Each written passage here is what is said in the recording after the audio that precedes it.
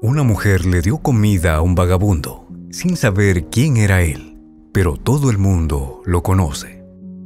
En todas las ciudades del mundo hay personas que por circunstancias de la vida terminan viviendo en las calles. Muchos de nosotros los esquivamos o hacemos como si no estuvieran allí para evitar darles algo de dinero.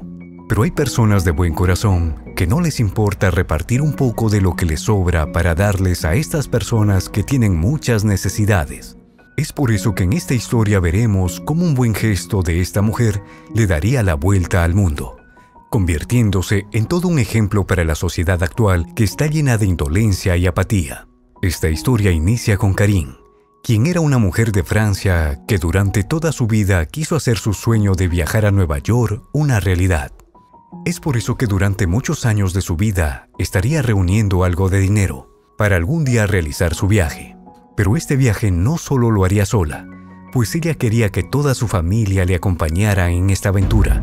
Cada año reunía algo de su sueldo que ganaba en su trabajo del sector turístico para poder hacer su sueño realidad. Luego de tres años de ahorro, Karim ya tenía todo preparado para su viaje a la Gran Manzana y se aseguraría que sus hijos tuvieran todo lo necesario para este largo viaje.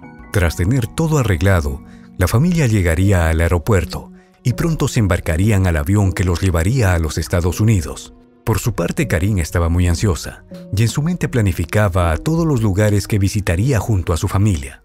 Pasarían las horas y Karin ya había llegado a Nueva York, pero ya era de noche y el viaje había sido muy largo, por lo que decidió descansar esa noche en un hotel para así reponer sus energías para el día siguiente. Las horas pasaron rápidamente y Karin se levantaría temprano para ver la puesta de sol en la ciudad. Luego levantaría a toda su familia para comenzar el día comiendo un desayuno típico de la ciudad y comenzar así su aventura. Todo el tour Karina lo tenía planificado, por lo que viajarían a los sitios que estaban dentro de su lista y quedarían impresionados por la majestuosidad de sus edificios y por la variedad de culturas que abundan en sus calles. Tras varias horas de caminata, su familia le pidió una pausa para comer, recargar energías y seguir. Esto Karim lo aprovecharía para pasar en una de las mejores pizzerías de la ciudad y comer allí. Luego de unos minutos, su familia comería hasta saciarse, pero aún sobraban varios trozos de pizza. En ese momento, uno de sus hijos le sugirió botarlo a la basura. Pero Karim le diría que no, pues eso podría ser aprovechado por otra persona menos afortunada. Fue cuando entonces decidió levantarse de la mesa y buscar a un vagabundo para regalárselas. Tras caminar unos minutos, Veía a lo lejos a un vagabundo que hurgaba en la basura buscando algo de comer. Enseguida Karim se acercaría a él y con una sonrisa le entregaría al vagabundo la caja con algunos trozos de pizza. El vagabundo estaba sorprendido por la acción de esta desconocida mujer y le daría las gracias a Karim. Pero ella poco hablaba inglés, por lo que le diría en francés que los trozos ya estaban fríos pero la pizza estaba en buen estado. El vagabundo agacharía la cabeza y le diría a nuestra protagonista, que Dios te bendiga. Satisfecha con su labor, Karim continuaría su viaje por la ciudad y más tarde volvería de nuevo a su hotel. Pasarían dos días para que Karim se diera cuenta del impacto que su noble gesto tuvo en el mundo.